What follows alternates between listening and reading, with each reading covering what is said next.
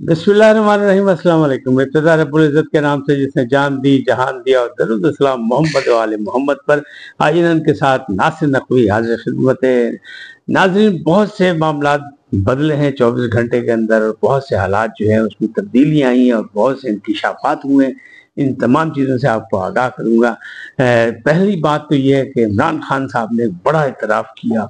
और उन्होंने क्या ऐलान किया? उन्होंने कहा, जनाब मार्शल लगा दिया जाए, एक मुतालबा कर दिया उन्होंने। दूसरी जानब वो कह रहे हैं कि मुझे मिलिट्री कोर्ट के हवाले कर दिया जाएगा। तीसरी जानब जो है वो ये है कि बन्नू जो मामला है, उसके लिए जीआईटी बनाई जाए और उसकी इंक्वायरी कराई जाए, लेकिन मुझे पता नहीं कि वहाँ हुआ क्या। बहुत सी चीज़ें हैं, इसके साथ साथ जो है वो आप ये भी गौर करें कि खलील रमान कमर का स्कैंडल सामने आया तो वो तो डिफ्यूज हो गया, लेकिन दूसरी जानब राहत फतेह अली खान का भी स्कैंडल सामने आ गया। जिसकी गिरफ्तारी का भी मसला वो क्या है। पीटीआई के लोगों की भी गिरफ्तारियाँ हो रही है और आने वाले वक्त में बहुत कुछ होगा। लेकिन इमरान खान, मुर्शद आज़म, भोले बादशाह साबित हो गए। आगाही दूँगा इन तमाम चीज़ों लेकिन पहले आपसे गुजारिश आई है इनको सब्सक्राइब करें लाइक करें, घंटी का बटन दबाना न भूलें और अपनी कीमती राय का इजहार करें। जी नाजिन पहली बात तो ये बात मैं आपको बताऊँ कि मुर्शिद आज़म इमरान खान ने रबता कर लिया जुडिशल कमेटी से। उनको एक खत लिखा है, मंसूर अली शाह, मुनीब अख्तर और काजी साहब इसमें हैं। तो इसका मतलब क्या है कि काजी साहब को तो नहीं लिखा, उन्होंने मंसूर अली शाह से और मुनीब अख्तर से रबता किया और उन्होंने कहा, जनाब, काजी साहब ने करोबार ये तो हमारे मुकदमात ना सुने, इसलिए कि इनकी बेगम साहबा के इल्ज़ाम भी ऑन रिकॉर्ड हैं और ये भी मेरे खिलाफ हैं, लिहाजा आप लोग बात करें। दूसरी जानब जो है वो ये था कि जो फुल कोर्ट का जो रेफरेंस है उस पर नज़र सानी हुई। तो उन्होंने कहा, इसको लेट कर दिया जाए। इसकी ज़रूरत क्या है जल्दबाजी की? और मरी अख्तर साहब ने भी यही कहा कि अभी कोई नहीं जजिस छुट्टी पे लेकिन सिर्फ़ दो साल पीछे अगर आप देखें, जब अता बंदयाल थे तो इसी तरह का एक केस था और मरी अख्तर छुट्टियाँ गुजारने गए हुए थे। कराची लिहाजा बंदयाल साहब ने जब कहा कि जनाब तशीफ लाए फौरी तौर पर लाहौर आया और लाहौर में तीन रुकनी बेंच बन के और वो इमरान खान की अपील की समाज शुरू हो गई थी, यानी छुट्टियों के दौरान। तो अब ये मामला जो है इतजाज बयानी जो है, इसी ने सारे मामला को खराब किया है। चाहे वो मेरी तरफ़ से हो, आपकी तरफ़ से हो, या मुआरे में पाए जा रहे हो कि इतजाज जो है, वो बेताशा पाया जा रहा है। आई एस पी आर की तरफ़ से जो एक प्रेस कॉन्फ्रेंस हुई, उसको बड़ा मसला बनाया गया, लेकिन वो एक तो वो जो दिलाओ नोटिस था कि भाई बस बस भाई, बस। अब नहीं।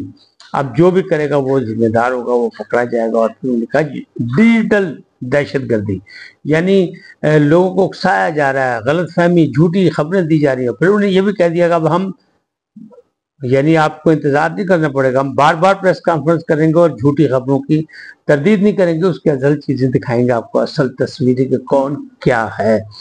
पीटीआई की जानब से जो है वो रऊफ हसन साहब को सेक्रेटरीट से गिरफ़्तार किया गया तो वो कह रहे हैं सेक्रेटरीट जो है, ये इनके, इस किस्म की झूठी खबरों को आगे बढ़ाने के लिए और इंतज़ार फैलाने के लिए इस्तेमाल हो रहा था, उससे पहले अहमद वक़ार साहब को भी गिरफ़्तार किया गया।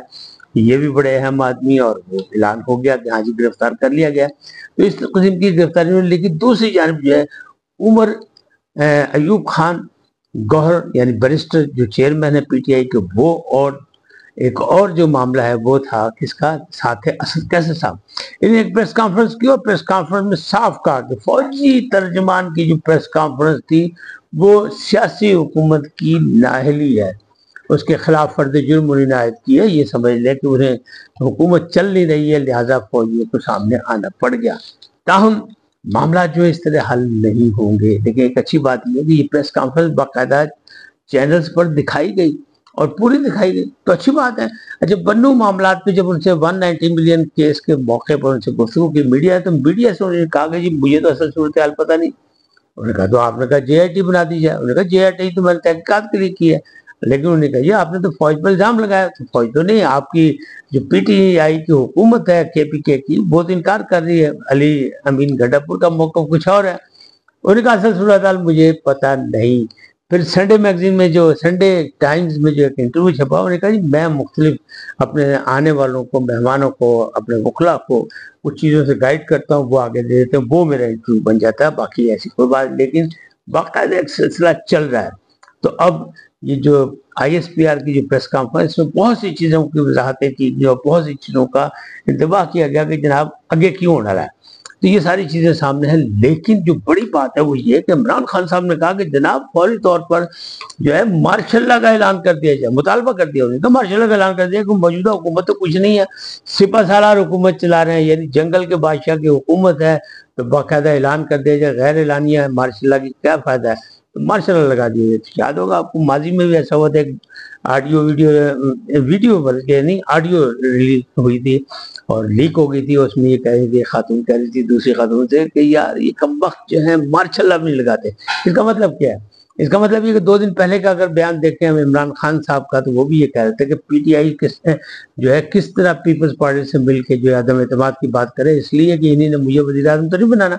इसका मतलब ये है कि जब मुझे नहीं बनाना तो फिर जनाब जो मर्ज़ी हो, मैं नहीं साथ देते, चाहे मैं सारी उम्र जेल में बैठा रहूँ। मकसद ये कि कहीं ना कहीं, यानी इनके किसी ना किसी तो शूर में या शूर में इनके मौजूद है कि मार्शल लग जाना चाहिए अगर मैं नहीं तो फिर गाहक नहीं, कोई नहीं। अगर हम नहीं तो कोई भी नहीं। तो इसलिए वो बार बार ये बात हो रही है, आज मैंने ये कह दिया। दूसरी जानब ने कहा कि मुझे पता है कि मिलिट्री कोर्ट में मुझे भेजा जाएगा। मेरा मुकदमा वहाँ जाएगा नौ मई का, क्योंकि नौ मई में उन्होंने इतराफ कर लिया और उन्होंने कहा कि जनाब, मैंने कहा था कि अगर मेरी गिरफ्तारी हो तो जीएचक्यू के सामने मुजाहरा करना, लेकिन पुर अमन। लेकिन भाई जो तो बदे इकट्ठे होते हैं कदम पूरा अमन होता है। फिर रौला पै गया तो रफड़ तो पड़ गया था इतराफ जुर्म भी उन्होंने कर लिया। इसी तरह बाकी भी मामला जो है, उसमें भी इसी तरह की बातें आगे निकल रही हैं। लेकिन जो इलेक्शन कमीशन अभी थोड़ी देर बाद एक शायद धमाका करने वाला है। जिस वक्त रिकॉर्डिंग हो रही है, उस वक्त अभी मसला शुरू नहीं हुआ था, लेकिन बहरहाल अभी आएगा फैसला है कि उसमें भी देख रहे हैं क्या पीटीआई की रजिस्ट्रेशन रखनी है या मनसूख करनी है, क्योंकि इंटर पार्टी इलेक्शन का मुकदमा जो है, मसला मसाइल जो है, वो उसी तरह है। उसको नहीं तस्लीम नहीं किया इलेक्शन कमीशन ने। तो इलेक्शन कमीशन और फुल कोर्ट रेफरेंस यानी वो जो मखसूस नशिस्त वाला मसला, ये आमने सामने हैं दो बड़े अदारे। तो दोनों कहते हैं, आईनी हदूद में रह के हम फैसला करेंगे। तो ये आईनी हदूद में रह के अब सिकंदर सुल्तान राजा जो है, कोई बाजा बजाने के मूड में लग रहे हैं। बाजा किस हद तक बजता है, क्या होता है, फिर उसकी चीखें क्या आती हैं, रद्द अमल क्या होता है, वो बात की बात है। लेकिन ये दो तीन चीज़ें बड़ी अहम है संडे टाइम का इंटरव्यू उसमें बहुत कुछ कहा, फिर वो दूसरी जानब ये जो था कि मुझे मिलिट्री कोर्ट के हवाले कर दिया जाएगा। तीसरा ये था कि जनाब, मैं जी एस भेजा था। तो आमतौर पर होता यही है कि भेजा जाए या ना भेजा जाए, जब भी कोई एहतजाज होता है पुरमन एहतजाज के नाम पर ही होता है, लेकिन उसमें कहीं ना कहीं से इंतशारी मौजूद होते हैं, वो अपने हों या पराए हों तो उनका ख्याल भी उसी इंतजामिया को रखना पड़ता है, जिसने उसका एहतमाम किया होता है। ऐसा नहीं हो सका तो मामला तो गड़बड़ हो गई। अब जी एच क्यू की काल वो कहते मैंने दी थी। लेकिन मैंने कहा था पुरमन ताहम इतराफ तो कर लिया। अच्छा अब दूसरी जानब जब 190 मिलियन और दूसरे मामला में, यानी नौ मई के मामला में उन्हें भी खतरा है, और ये होना है, क्योंकि लग यही रहा कि होना है ये मसला।